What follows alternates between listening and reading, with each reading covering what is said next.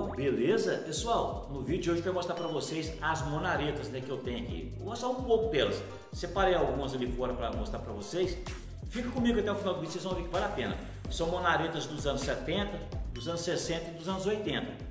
Cada uma que a outra. Lembrando, pessoal, inscreva-se no canal, deixa seu like, compartilhe esse vídeo e não se esqueça, ative o sininho para você receber as notificações toda vez que eu postar um vídeo novo. Vamos lá conhecer essas monaretas?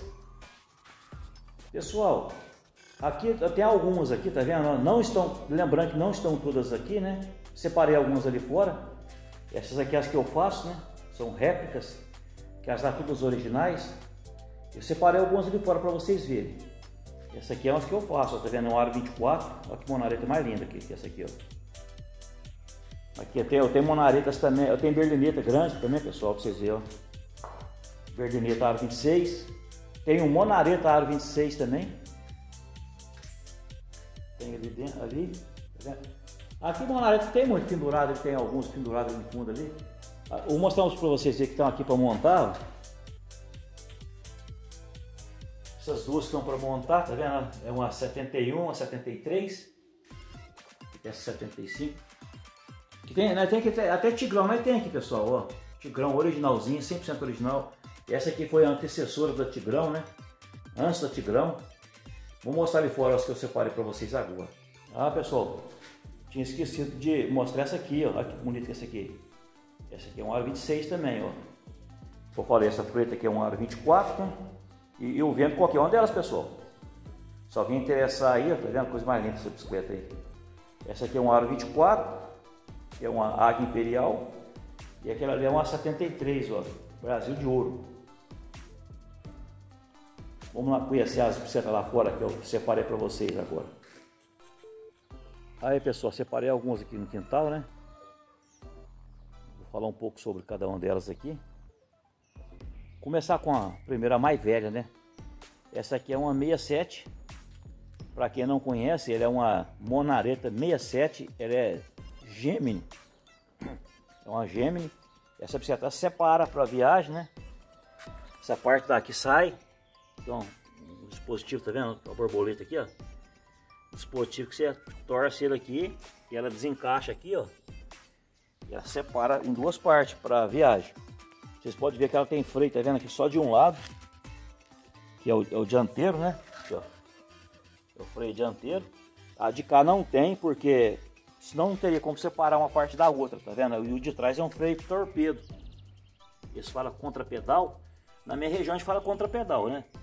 Outras pessoas falam freio de pé, outros falam freio torpedo. É uma bicicletinha muito, muito bonita, muito íntegra.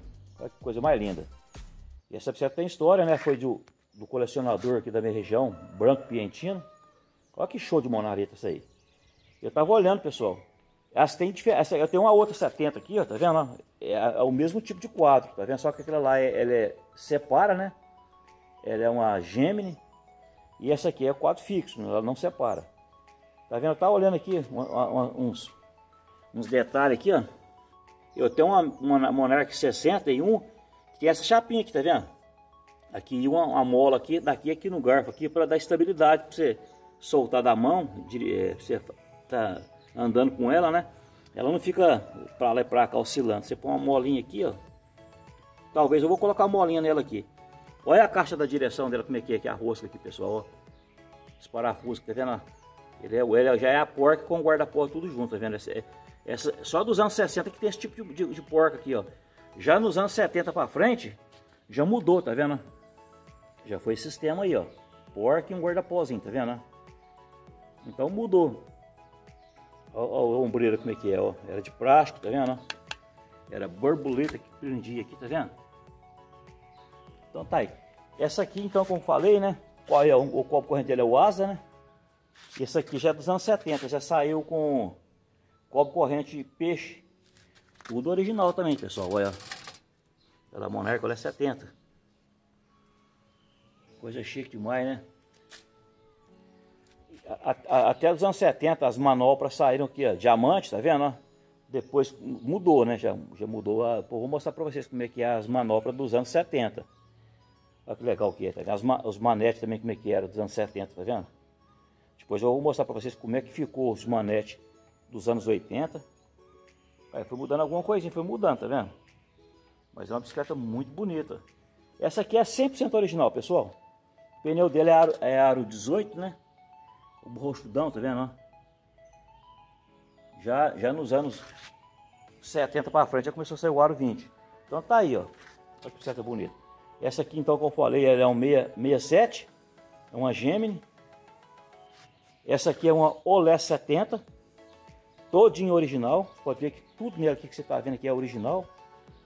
Desde, só os cabinhos dela de aço que não é, os seus canduítes que não é original, pessoal. Mas aqui também, né? Todas as peças timbradas, tá vendo? Olho de gato. Ombreira de plástico. Braça, essa, dobra, essa borboleta que é plástico ainda, tem que sair nela. Cubinho fino, lá, é, carretelzinho fininho. Tanto na traseira como na dianteira. Agora, pessoal, vou mostrar para vocês aqui uma 70, 72, ó. Isso aqui já é o famoso garupão, né? Depois daquele quadro lá dos anos 60, olha lá aquela lá 60, essa aqui fechando os anos 60, que é o ano 70, né?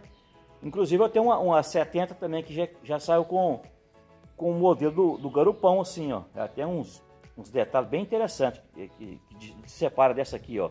Mas já foi o primeiro garupão que saiu, o Olé 70. No outro vídeo eu vou mostrar para vocês aí. Ó, e essa aqui saiu com freio contra pedal, né? Que é o torpedo que eles falam, tá vendo? Ar era pintado. O banquinho dela é original, tá vendo? Com refletorzinho aqui atrás. Ó. Olha os filetes como é que era dos anos 70, tá vendo? 72. Ó. Aí depois dessa aqui, pessoal, veja bem. Vou mostrar para vocês aqui. Já uma dos anos 70, né? Já a garopeirinha já mudando o, o chassi dela, que é a garopeirinha curta, que, né? Que a gente fala aí. Que ela é o garupão. E esse aqui é o garupinha curta. E essa aqui, pessoal, como eu mostrei a primeira lá, que era uma Gene, essa aqui já, depois ela, a Monarch mudou, né? Já soltou a Dobramatic, tá vendo? Ela dobrava no meio para diminuir para viagens também, né? Para colocar no porta-mala do carro. Ela dobrava, ficava pequenininha Aquela de lá separava, né? Com a gêmea, com a branquinha lá, branca e vermelha lá. Depois essa aqui, ó, a Monarch já evoluiu, né? Já um sistema mais rápido para transporte. Desapertava os parafusos que ela dobrava. Tá vendo? Todo, todo original, pinturas 100% original essa bicicleta aí, ó. E eu tenho uma outra aqui, que é, essa aqui é uma 70, é, 76 e eu tenho essa aqui é 77, tá vendo? Que ela já mudou um pouco, só o copo corrente dela já é, é, o, é prateado, tá vendo? Os, copo, os paralamas prateado também. E o garfinho dela saiu na cor do quadro, aquela lá, garfo branco ainda, né? Porque o Monarca, geralmente as Monarca, ah, quase todos os garfos das Monarca era branco, né? Branco e paralama branco. Essa aqui já mudou, o, o garfo da 77. Saiu o garfo da cor do quadro e os paralamas prata, juntamente com o copo corrente. Mas é uma bicicleta muito íntegra. Até que essa bicicleta é nova. Ah, como eu falei, as manetes da, dos anos é, 70, como é que era, tá vendo? Tinha um olhinho de gato aqui, né? O olhinho de gato aqui, ó. E é desse sistema aqui, tá vendo? Essa aqui é dos anos, dos anos 70. Igual eu falei, essa aqui tá uma 70 e... Tá mudada, essa, essa manopla foi mudada também, tá vendo? Essa aqui é dos anos 90, né? Que tem essa bicicletinha aqui. Tem pessoa que não, não sabe disso, pessoal. Acha que é tudo igualzinho, né? Aqui, ó, é, dos anos 80 já mudou as, as manoplas, né? Já mudou as manoplas, tá vendo? Coisa mais linda. As, as manetes mudou também, tá vendo? Esse manete aqui, como é que é, ó? Dos anos 70. Dos anos 80. Ele, ele lembra muito das dos anos 60, né, pessoal? Dos anos 60 é mais, é mais ou menos assim, tá vendo, ó? Eu acho que ele voltou a usar esse modelo aqui, que eu vou mostrar para vocês agora, dos anos 60, como é que era. Aí, ó. Lembra ou não lembra aquela lá? Mudou. Então vamos voltar para essa aqui, ó. Sempre, aí, ó. Fechou essa aqui dos anos 70, entrou para uma dos anos 80. Sempre eu, eu começando com uma é, dobrável, né? Eu mostrei uma, uma dos anos 60 que era dobrável, né? Que é a Gemini, que separava. Depois eu mostrei a dos anos 70 lá que, que ela dos anos, dos anos 70 que, do, é, que dobrava uma dobromatic, agora estou mostrando dos anos 80 que dobra também, tá vendo? Essa aqui é uma, uma linha dobromatic, uma 82, tá todinha original essa bicicleta aqui também, pessoal. Você pode ver tudo nela que é original, ó. As manoplas, manete, para-lama. Os pneus dela ainda faixinha branca ainda, tá vendo? Show de bicicleta. Essa aqui é um 82 com banco. 100% original, viu? E lembrando que todas elas estão à venda, pessoal. Que nós aqui não, é, não fica segurando muita coisa, não. Aqui, ó. Essa aqui ó, é uma dos anos 80, tá vendo? Timbradinha Monarca aqui, ó. Vamos ver, dá pra vocês, vai dar pra ver aí. Timbradinho. Aqui essa aqui também é, é uma... É uma 80, tá vendo, ó? Só que essa aqui já saiu com a borrachinha aqui, ó. Na, na, na manopla, tá vendo, ó? Timbre Monarca também aqui, tá vendo, ó? Olhinho de gato. Bonita demais essa bicicleta, né? E essa aqui já não é, já não é dobrável mais, tá vendo? Essa aqui eu postei essa semana para vender, né? Lembrando, pessoal, bicicleta para comprar barato tem que ser de garimpo. Tem que comprar de quem, de quem não conhece, né? de, quem não, de quem não sabe os valores que ela tem. Comprar bicicleta de colecionador, a gente restaura, põe tudo peça timbrada, manda cromar, gasta um dinheirão, né? E, e às vezes você compra de um cara aí que é particular, o cara pinta com spray, faz um põe peças que não é original e não é o mesmo valor, né, pessoal? Então, se quer comprar barato, tem que comprar de quem não é colecionador. E isso é quase, quase que impossível de achar, né? Então, tem as minhas que são todas bicicletas timbradas, todas bicicletas originais. Né? A gente procura sempre é, colocar tudo peças genuínas, né? E a maior parte das bicicletas também são bicicletas do jeito que são de fábrica, pessoal. Não tem peças substituíveis, né? Alguns têm assim, essa aqui que tem, trocou só a manopla, né? Mas isso aqui é coisa fácil de encontrar na, na internet aí. Você pagar uns 200 conto na manopla original dessa aqui quais, né? Então tem pessoa que às vezes quer comprar, pessoal, veja bem, quer entrar, quer entrar na área de colecionismo, é muito, mas muito bom. Só que é, é, é, um hobby caro, né? Não é barato uma bicicleta dessa aqui. Pouco, isso aqui, ó, tem, a pessoa tem que gostar muito, não é pouco, mas é muito, né? Quer entrar na área de colecionismo, é muito bom, né? Quantas pessoas que falam assim, ô, oh, seu Daniel, comecei a assistir seus vídeos aí, me inspirou a, a colecionar bicicletas também, né? Então já, já, já vai sabendo que, que não é barato não, é um hobby barato não. Ah, essa aqui tá para vender, ó. Essa, dentro, dentro qualquer uma delas, pessoal. Conforme a bicicleta, o, conforme o grau de, de originalidade, elas vão aumentando, né? Então tá aí, se alguém interessar, me, me liga, né? A gente pode estar negociando. Porque tem muitas regiões que não acham mas nem a poder de porrete. Você não acha um certo aqui para comprar, mas você tem um dinheiro para comprar e não consegue, né? Porque esse aqui não acha para comprar em lojas. Você vai comprar só na mão de colecionador mesmo, infelizmente.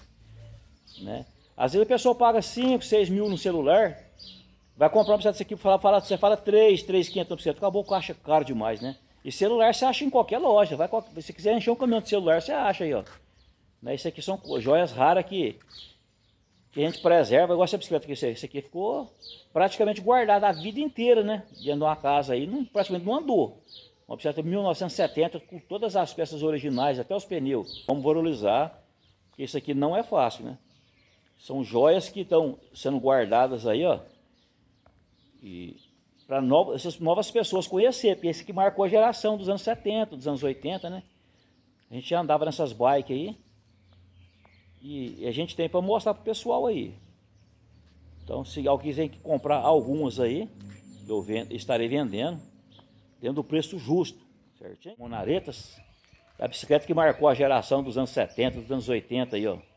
Eu acho que quase todo mundo né, aprendeu a andar na bicicleta dessa aí, né? E essa, essas aqui já é mais difícil, pessoal. Eu era criança, meu vizinho tinha uma dessa aqui, ó. Na verdade, era uma, era uma gêmea assim, ó. Isso é o que? Já faz mais de 50 anos atrás. E hoje quem tem uma dessa aqui, você ver, não é uma bicicleta de 5, 6 anos, né? A bicicleta que já tem mais de 50 anos nas costas, né? Então tá aí, ó. Mais, mais um pouquinho para o pessoal ver aí. Eu sempre falo, isso aqui é para quem gosta de bicicletas antigas, isso aqui é um colírio para os olhos, né? Lembrando que não estão todas aqui, já vendi bastante, ainda tem outras para chegar, né? O pessoal sabe que eu estou vendendo, outros, uns querem comprar, outros querem vender, então a gente é uma ponte, né? Para para estar aproximando as pessoas aí, ó. Facilitando um pouco para comprar também, né? Porque não é fácil comprar essas bicicletas, pessoal. Então, graças a Deus eu estou usando o canal aí, né? Além de mostrar as belezas para o pessoal aí, a gente pode estar tá agilizando para as pessoas estar tá adquirindo uma bike dessa aqui. A pessoa fala assim, ô, oh, seu Daniel, o meu sonho era ter uma bicicleta dessa aí, ó.